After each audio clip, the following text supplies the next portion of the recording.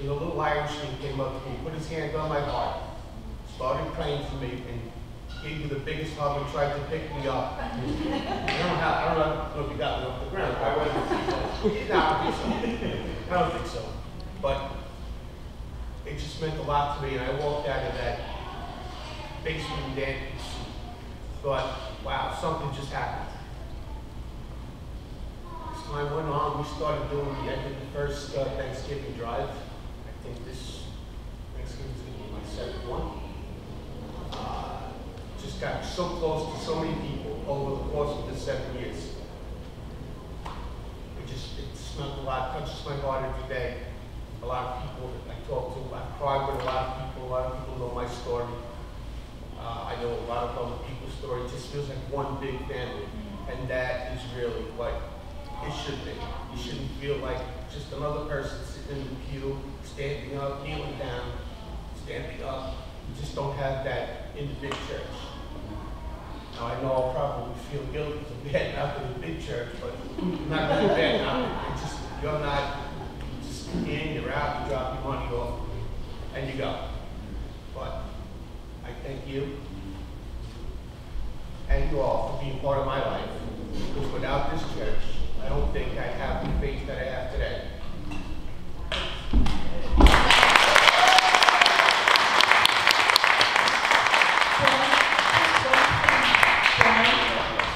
Just one thing I want to ask. Tell, tell us what it's meant for you to be part of the prayer team. Uh, oh. Try this again. This one might be easier. Uh, the WhatsApp? Yeah. Okay. The WhatsApp app. The second says, you gotta try this thing. I'm like, what's a WhatsApp app? It's all, it's about prayer. Well, well, I guess people use it for other things, but we're using it for prayer right now. Uh, man, I've gotten on that thing at three o'clock in the morning. My wife got sick. I said, oh, I'm sitting in the waiting room. I'm on this prayer chain, talking, saying, my people pray. At three o'clock in the morning, all of a sudden my phone goes up. It's Kia. You didn't even know. Thinking about yours. Yeah. Sends me a prayer at three o'clock in the morning. It's where, where, you, where you get that? You, you couldn't buy that. Uh, again, I think other people, when they have prayers, when they need prayer, they need help, they go right to the app.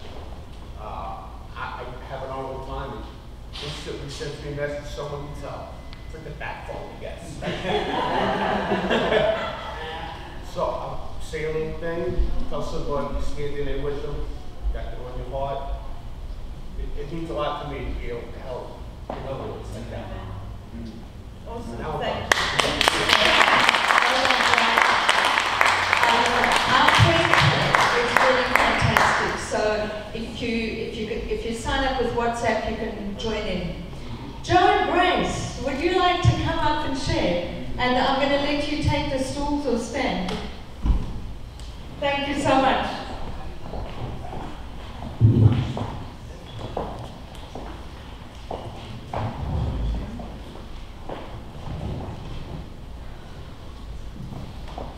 Thank you.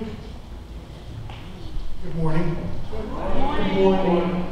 Don't be nervous. You raised it, Brian. Um, Well, God and crossover have transformed us. Our journey with crossover began November 24th, 2013. And, yeah, um, six years, but it feels like we've been here forever. It's, like Brian, like you said, it's, it's a family, it's support, it's love. Um, this is our story. Uh, back in 2015, Joe and I went through a separation. We were proceeding through a divorce. And our family, our kids, no one could get us back together. Our church family was by our side the whole time, and we were listening. God's words were being spoken here at Crossover. And uh, I think once we were able to get out of our own way, the Holy Spirit came into Joe and I. And what God has united, no man should divide.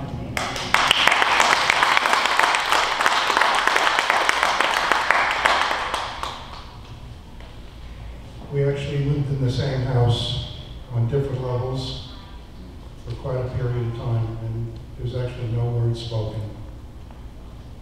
And our reunion, like a child's birth, took place after nine months. That's when we were able to get back together. Through, again, as Grace said, there was nobody here who, or that we knew that could help us. And it was an intervention through Jesus who um, finally spoke through our daughter and made us see the light and what he wanted from us. And it was instantaneously that our lives changed. And we said, this is not what God wants. And again, through the support of everyone in this church as well, you guys were great, and there was a lot of support here. We thank you for that. But for Grace to continue go ahead. Yeah, well, we listened, we surrendered, and we pray. Um, two years after Joe and I were together, an unthinkable tragedy happened. When our beloved son, Joe, passed away. The last day I saw him was on my birthday, which was a Thursday. By Sunday, he had passed into God's kingdom. There were no goodbyes. Our souls could have still slowly died that day, if not also our lives. We both agree from grief. But we listened to the words being spoken here at Crossover. We knew we were entitled to joy, and God not want us to be consumed by grief. So we listened, we surrendered, and we prayed. Know now our lives are filled with joy. After that, and amen, because it, it is, we are able to find joy in, in such tragedy. Just knowing that our son is at home where he belongs with his father, and that's what, it's a circle that goes completely around, and it goes around every day, and at the end of the circle, we know he's in the right place.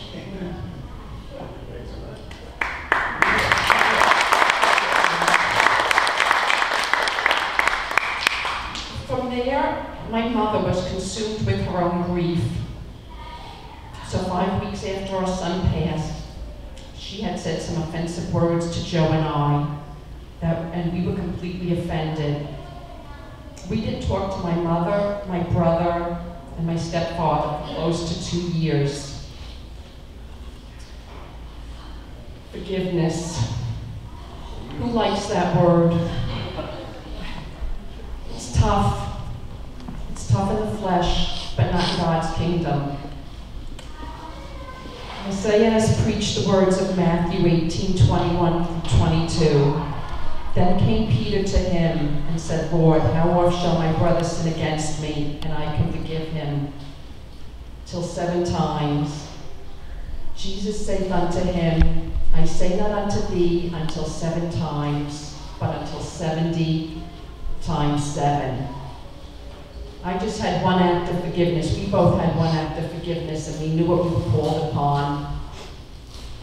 So we listened, we surrendered, and prayed. We had to work through our offense to realize mom didn't know any better. Our family has since had a reconciliation, and the joy of family has been restored.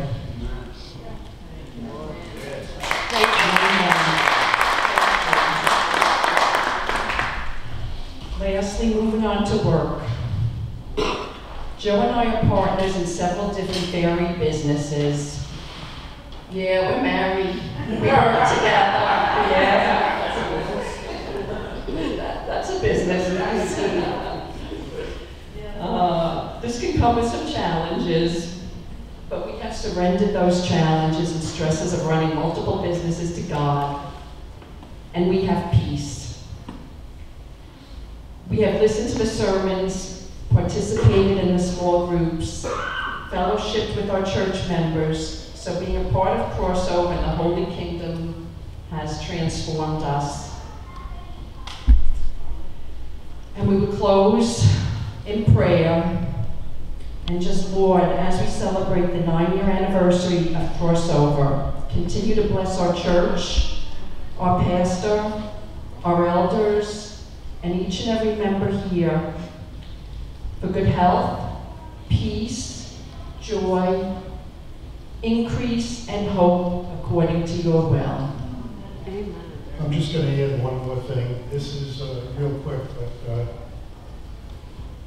I was, um, I accepted Jesus back in the late 70s uh, through a very close friend of mine who were in the service together. And uh, we've gone through our ups and downs, but um, there was a point in time we were both Christians. There was a point in time, there was an airport next to the Republic calls Zahn's Airport. You may remember that. And um, we were coming in for a landing, and the two airports had almost overlapping runways and takeoff uh, situations where they overlapped.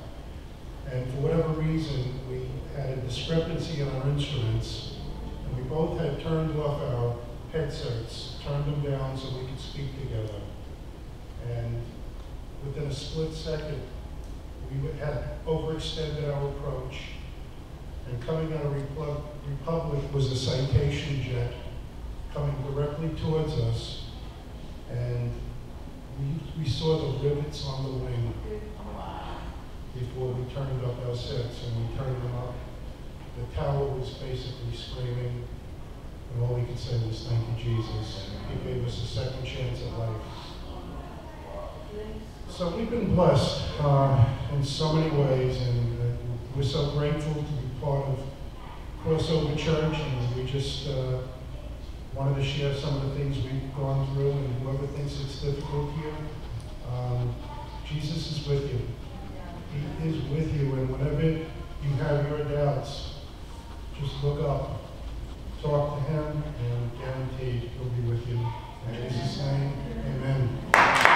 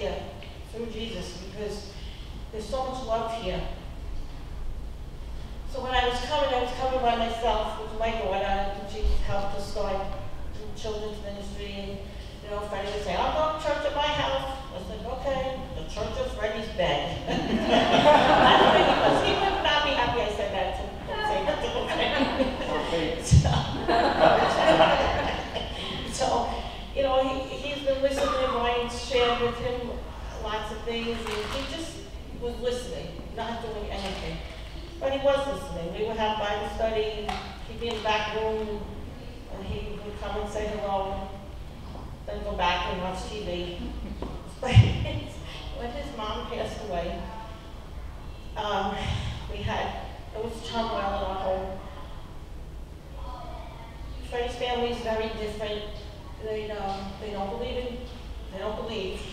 So it's very hard and for us, for me especially, um, he had no closure, he had nothing, he just, like, his mom just died and that's it, she's in France, I'm alone, what, what now, what, what do I do? He didn't know what to do.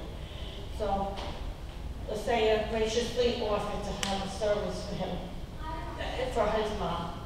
And something really happened to him that day, and he really changed, it changed his life, it changed him.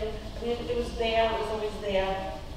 Um, but for him, he made a commitment that day. Not that he even says it because he doesn't like the word commitment.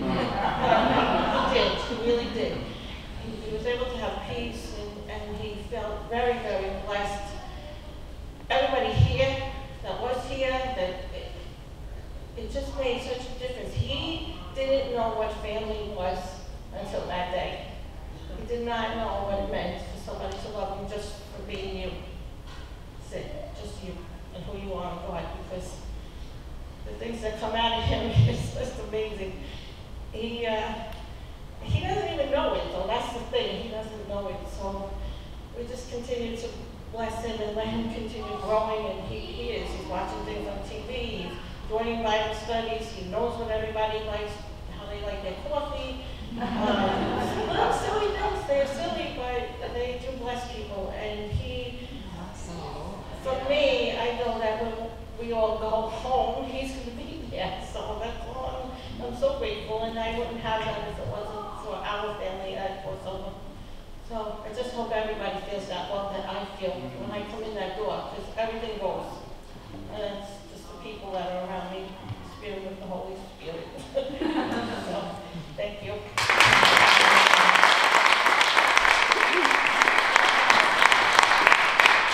Thank you Rod.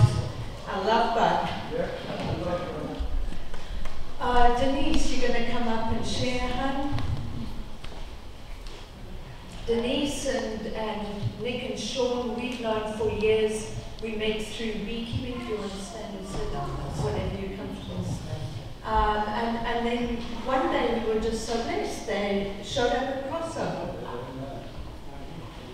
Good morning, everybody. I had to, I had to write mine down, please.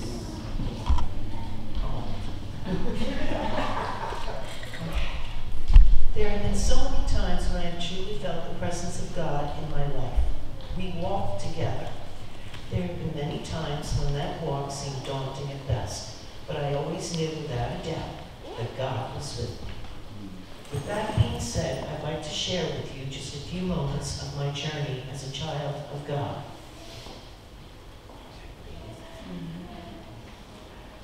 When Sean and I were newly married and expecting our first child, we searched to buy our first home. I must have looked at hundreds of homes, all of which my husband, who was in construction, would then come to view and shoot down my enthusiasm with, the house needs a lot of work, it needs a roof, a driveway, the foundation is no good, oy. And the church and the search would continue. One day after viewing yet another home that was just not right, we were driving around and spotted an open house real estate sign. It was the middle of winter, snow piled as up as high as the bottom of the windows and not a leaf on a tree. We pulled into the driveway. It was not much of a house, small, needing some work, but had a big piece of property. As we pulled in, Sean pointed at a tree in the front yard and said, wow, what a beautiful tree. We're buying this house. We hadn't even gotten out of the car. Unbeknownst to me, which I quickly learned, the tree was a beautiful 75-year-old cut-leaf maple. With its bare branches entrapped in the weight of the snow, Sean knew its value. So we did. We bought the house. It was a joke between the two of us that we had bought the house because of the tree. And what a lovely tree it was indeed. We will come back to the tree. When Nicholas was three years old, we quickly learned that he had not met some of his developmental milestones. After several evaluations, we learned that Nick had sensory integration issues and was probably on the autism spectrum. The internet was just beginning, there was little information available, and so, and the so-called professionals characterized it as a life of struggle and doom and gloom. I called upon God to help me to understand and to help me navigate this world of the unknown. And God heard my prayers. I pored over books, I read whatever I could get my hands on, I spoke to whomever I could that had more knowledge than I on this subject. I learned quickly and forged ahead. I refused to believe that my child, this wonderful gift from God, who is so bright and so loved, would be doomed to a life of failure. When Nick entered kindergarten, the special education administrator, Dr. Grossman, decided that Nick needed to be placed in a self-contained class with other children with specialized needs. I was not entirely convinced that this would be the right placement for him, but I trusted the professionals. It was an awful school year. At the end of kindergarten, the school district redistricted us, and for first grade, Nick was again placed into a self-contained class in a different school with the same awful teacher. At the end of first grade, Nick had not gotten the reading, writing, and math needed to move on to second grade. But the school district, in their infinite wisdom, declared that Nick would be moving on to second grade, remain in a self-contained class, and would be moved to yet another school in the district. I said no. I wanted him left back to first grade and placed in an inclusion class with supports in place to help him be successful in a regular class setting with good role models to emulate. At that meeting, the head of special education, Dr. Grossman, said to me, Mrs. McMahon, you need to lower your expectations. This child will never go to college. Now, I know God was with me in that very moment because I know He held me back from climbing across the table and striking this administrator a doctor of education. I looked him dead in the eye and I said, how dare you, how dare you make that determination at six years old and doom my child to a life of failure. I pulled Nick out of the public school system, placed him into a very expensive private school with all the supports in place for him, and then sued the school district for the very expensive tuition. I won. They appealed, and I won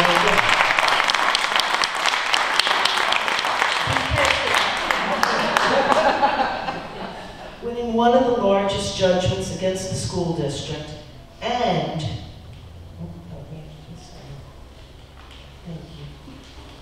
and forcing the school district to provide our special needs children with inclusion classes at the lower elementary level in our district. It was a struggle to get the district to release the funds to the private school after winning, and the private school was after me for payment. I certainly did not have the money sitting in my bank account. So now, remember the tree? One Saturday morning in the dead of winter, as I sat at my kitchen table praying, asking God to help me, how would I pay this tuition? There was a knock at my front door. I opened the door and there stood a well-dressed man who introduced himself as a tree broker. He pointed to the beautiful tree, the bare-leafed, cut-leaf maple on my front lawn and said, that tree, it's a beautiful tree. I've been driving by and watching it. Do you want to sell it? I was flabbergasted, but without hesitation I said, sure.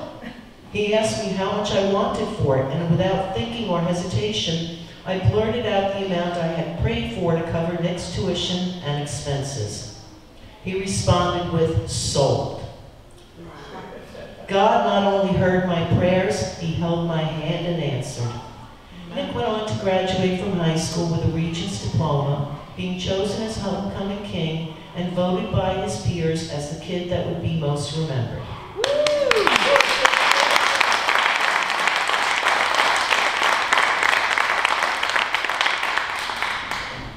In conclusion, as the church knows, Nick was in an horrific accident which nearly took his life. In the darkest hours, on my knees, begging God for the life of my precious child, and screaming at the devil, telling him he can't have him, God spoke to me. Chris Kelly was one of the first people I called. God led me. I have never questioned God's lead, God's lead or intention. God brought me to the Crossover Christian Church for a reason. My boy needed your prayers, and God was listening. Chris never hesitated. He and Messiah were there every moment, every minute, and never wavered. You, the church, prayed for my boy. I recall clearly the day Nick was in surgery for 10 hours to reconstruct his face that had been so badly broken, his future uncertain. God spoke to me and said, Never a victim, always victorious. Nick continues on his journey, finishing Suffolk Community College with a 3.8 for the semester. On the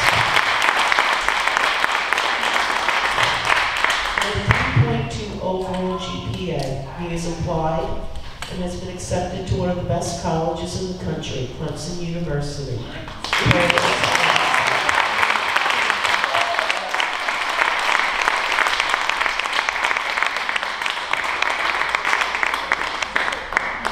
We love you guys as a family. Bless you.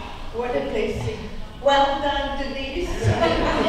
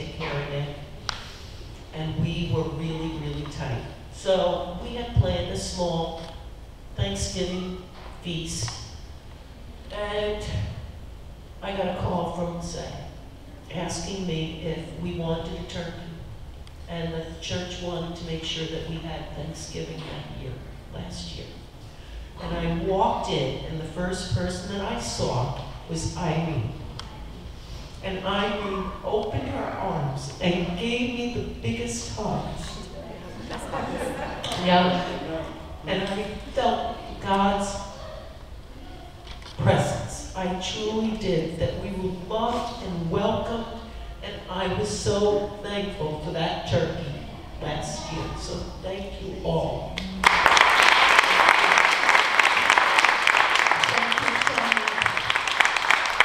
Wow. I think we've got two more testimonies to go. Stacy, are, are you are you up for sharing today? No.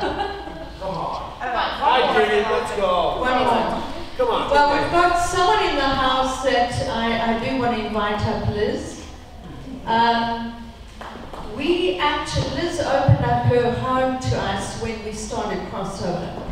And, and so Liz is um, still an elder at this church. Even though she's moved to Florida, she's very much part of the, the fabric. Um, week in, week out, prayers, whatever is needed. You got something to say, go? Yes, you do. We are. The little church that could. Yeah.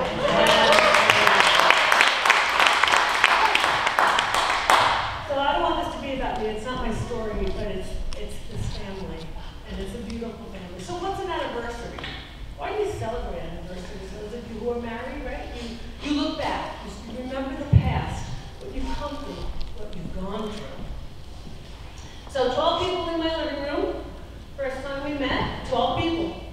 God is in the details, right? In everything, so that's amazing. Started in the living room, ended up in the foyer, around the dining room table, up the stairs at one point, and this was amazing. So that was just the start of it.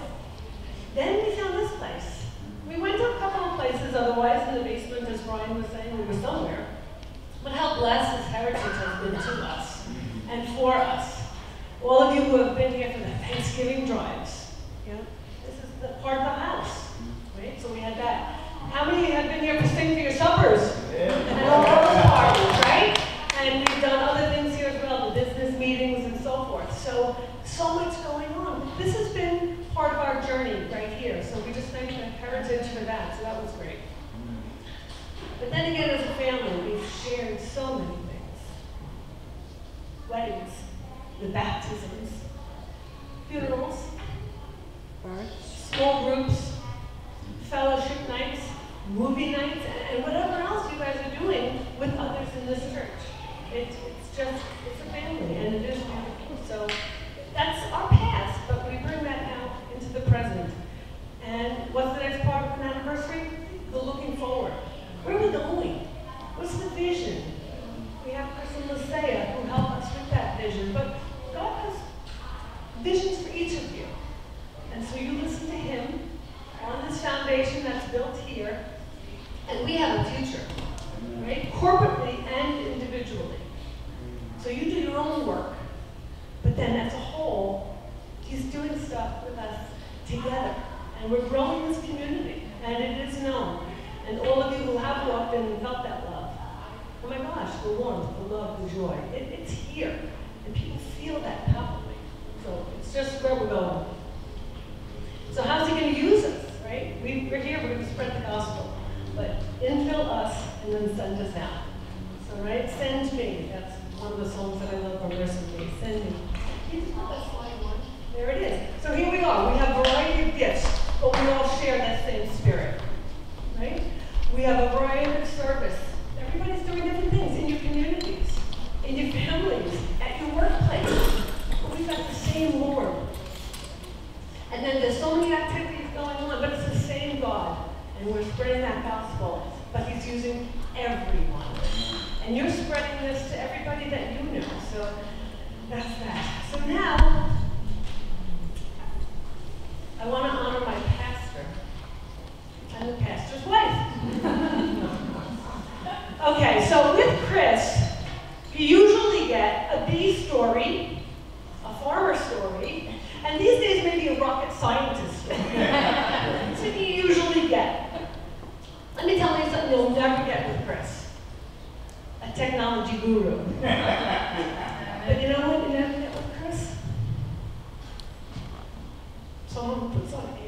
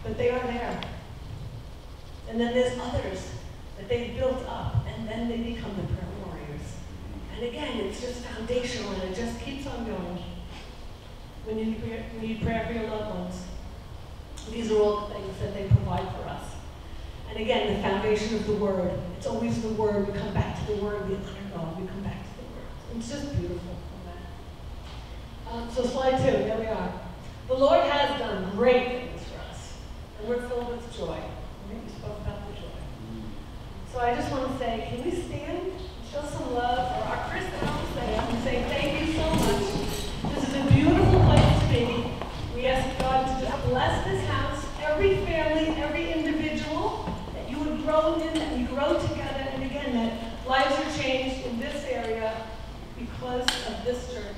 And Chris Althea, and of course Savannah. She's gone through so much with her mom and dad, but they, they just stand firm in foundation. So we just want to say thank you so much.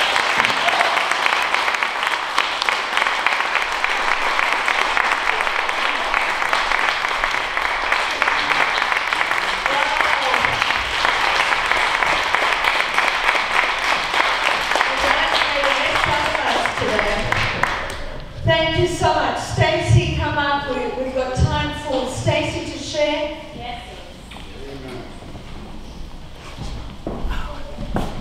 I'm not a sitter when I speak, so I'm going to stand. um, I am a crier. This didn't set me up for much success. but um, so I, you know, I'm just going to share with you kind of how I got here, right? With you.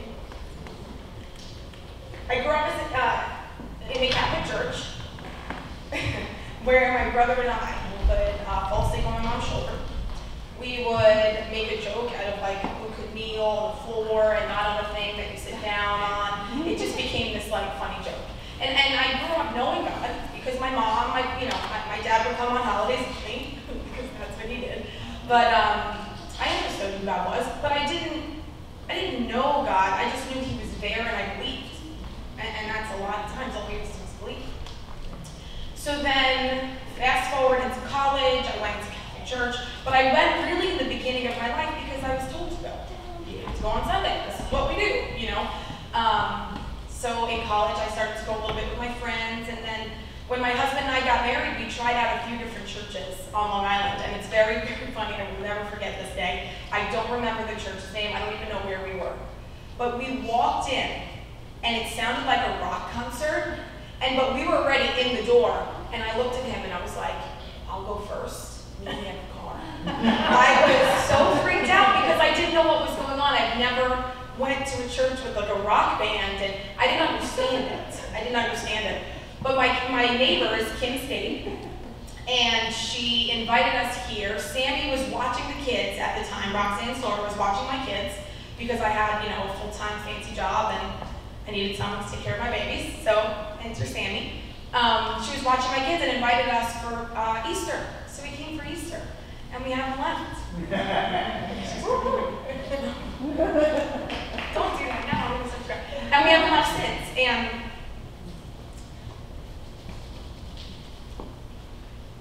I don't think I speak for a living. You think I can really control myself? I don't think I understood how to talk to God until I came here. I don't think I understood that talking to God isn't praying in some like memorized prayer. Because I, I really thought that prayer was something that had a, like a, a, a beginning, a middle, and an end. You know, that prayer was was something that was formulated and it was an act of contrition, right? That was my confirmation thing. I still remember to this day. I didn't understand that prayer just meant, I'm struggling. Can you help me? I didn't get that until I came here. So now, here's what's great about you guys. Well, so as, okay, here's, and now I'm to fast forward. So now we're part of the church. I'm in a career. I'm in a corporate career. I had a corporate career for 11 years. It was a big deal career. I made ridiculous income. It was, I thought, my forever. But I hated it. I was miserable. I was paying my, my nanny more than my mortgage to raise my kids. And it was hard. And I didn't want to be there anymore. So when you're in corporate America, you're a number. Not all the time, but a lot of times you're a number. And October of 2014, my number was called. It was the best thing. Okay. Because I remembered the whole year leading up to that day. I was going through a lot of stuff in that corporate world. And I remember God saying to me, stay the course, I've got this. Where literally I was being pulled, I was getting recruited, people were like offering me more money to do the same job at a different company, but I knew that I needed to stay the course, so I did, because I heard him. I've heard him since I was a little girl. So I did, I stayed the course. In October 2014, I was downsized, and I remember I got the phone call from my manager, and she said, Stacy, I am so sorry to tell you, but your position is no longer available. And I giggled, and she said, did you just giggle? And I was like, oh, did I giggle out loud? I don't think I realized that I actually giggled. But when I tell you I felt free, I felt free. Because now I could figure out what I wanted to be when I grew up, and this wasn't it. That was a Wednesday. I was in church on that Sunday. And we were here, and every, uh, the site was, uh, was doing her service, and what was being spoken of was open doors. That God opens up doors every day, all day. But we are so busy doing other things that we miss it. On our phones, which we all can attest to being on our phones a lot, we are busy doing other things than paying attention to those doors that He's opening up for us all the time. And I remember leaving church that night praying and thinking, listen, whatever door you're about to open, put like flashing lights on it, maybe bells or something. Make it so big that I don't miss it because I knew something was coming. I knew something was coming. Well, then that week I got invited to a friend's wine and wellness event, and that Friday, so just 10 days after the day I was downsized, I was introduced to the health and wellness world, where I learned about the Juice Plus company and the Juice Plus products. I became a certified holistic health coach, and I literally, God praises me every day for choosing the path that He wanted, because that's what I wanted too. Because the impact that I knew I wanted in my life wasn't what I was doing, but I was stuck. You ever been stuck? And you settle, right? I call the F word the fine. You're fine. Being fine means that you are where you are and you're not going to push yourself to where you have to go. No expectations are really low. I was fine for a really long time. And I was downsized, and that fine became extraordinary. I stepped into my magic because I trusted, I followed, and here we are. So 4:30 in the morning.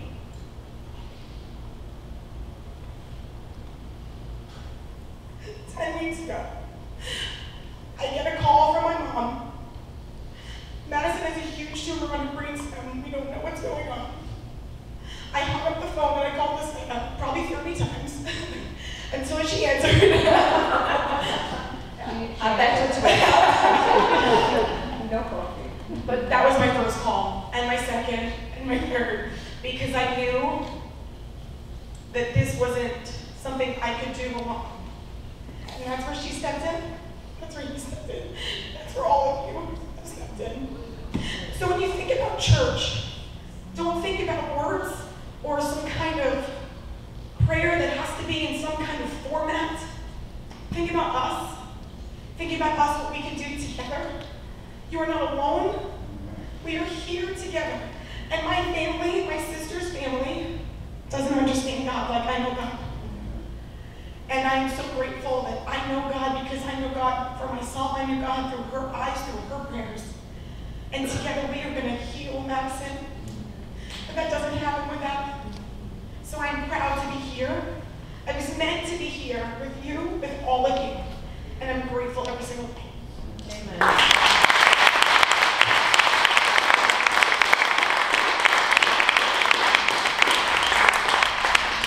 Wow, and those are just half a dozen stories, hey? Aren't we incredibly blessed? There's a story in every single one of your lives, a story in the making. Um, I, I know that we, we're going to wrap up in a minute, but wasn't this wonderful today? Yeah, yeah. So I, I know Jabba Jules wants to say something. He's going to have like two minutes. Um, I, I,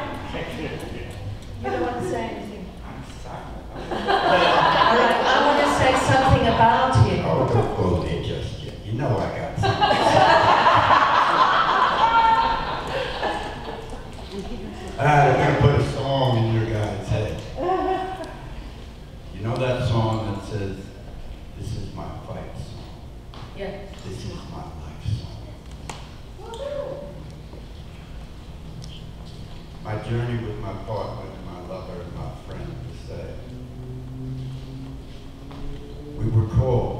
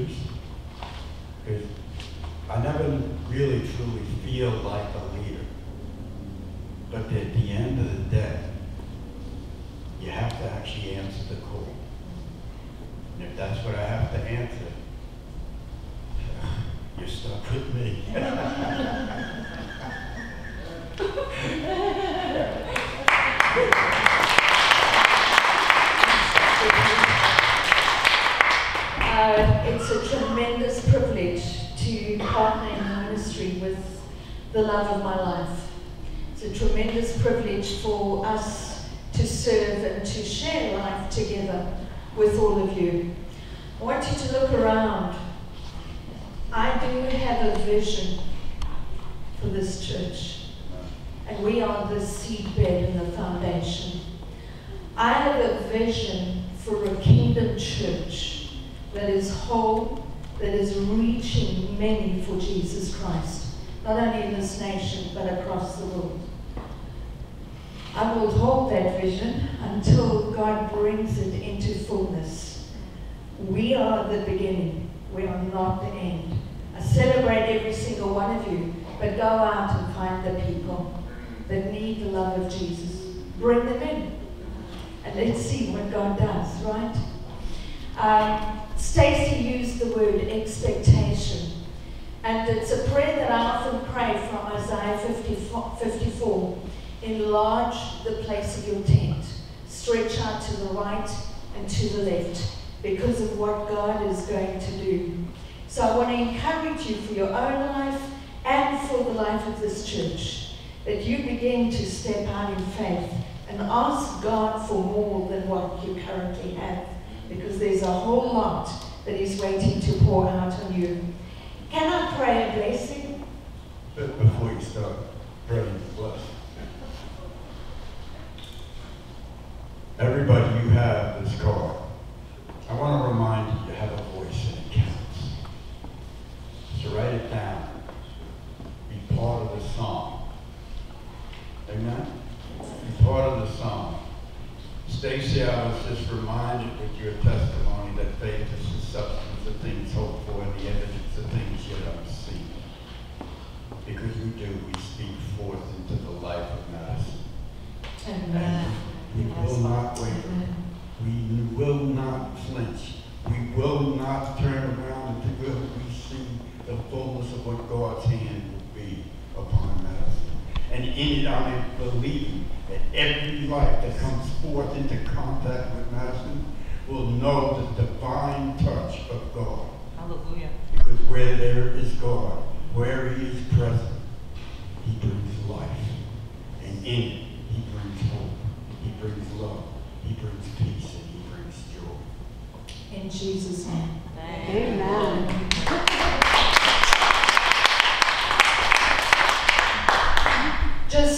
Finally, one, one bit of church family news. Uh, many of you know Ronnie Vanderhoof. Two years ago today, she lost her husband, Tom. Uh, her brother-in-law, not Bobby Vanderhoof, but another brother-in-law passed away this week. So the funeral is on Monday. It's very close. It's very painful. For those of you who do know Ronnie, I'd encourage you to put in a call, send a card. I can give you um, the contact details. Won't you stand and I'm going to speak a blessing over you and I just want to say thank you so much to everyone who shared. Um, you've fed us on so many levels, such a blessing. So the prayer that I want to pray over you is really from Ephesians 3. And my prayer is that God would strengthen you with might in your inner man. That God would fill you with all the fullness of God. That you would come into such a revelation and experience of the immeasurable, unfathomable, limitless love of God. That you would be washed with the love of God by the Spirit of God. And that you would go out empowered in the fullness of God, empowered in the love of God to live for His glory in all that you do. And so, Holy Spirit, that you would come to fill the people of crossover. Lord, that you would come to regenerate, that you, Spirit of God, would breathe the very life of God into the fabric of our lives and use us up for your glory in Jesus' name. Amen. Amen. Amen. Well done.